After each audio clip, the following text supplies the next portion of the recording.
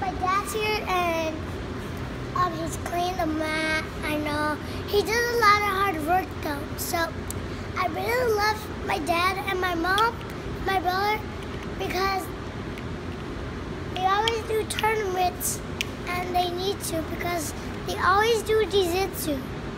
And um, we have to um, Assemblio Fa- Fabio Santos. And then we have there's Fabio Santos, my mom's key. And then we have mom's card, and then all those pictures. Okay. And then we have the harvest and Santa. And then